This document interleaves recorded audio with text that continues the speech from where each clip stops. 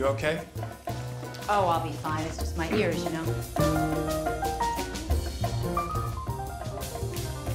I think I should skip Budapest and just go straight to Paris. I'm driving back now. May I make a suggestion? I'll take care of her. That's very generous, but are you sure it's okay with you? So let's pretend we don't know where we're going, or even who we are. Oh, brother.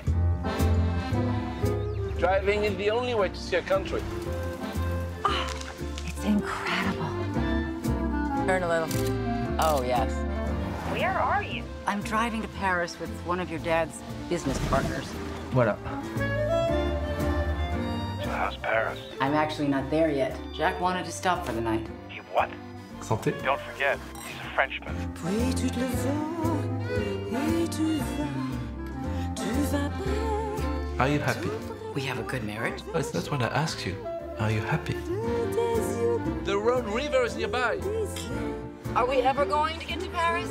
There's an excellent museum. You should go and see it. No, no, please. We're going to Paris. et ça me plaisait si. Voilà. Escargot. Si on ne disait But I thought we'd be in Paris by now. Paris can wait.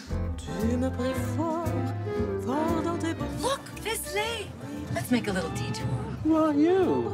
And what have you done with my American friend, always in a hurry to get to Paris? qui me disait Je suis amoureux et ça me plaisait si bien. Okay, Jacques. Straight to Paris now, right?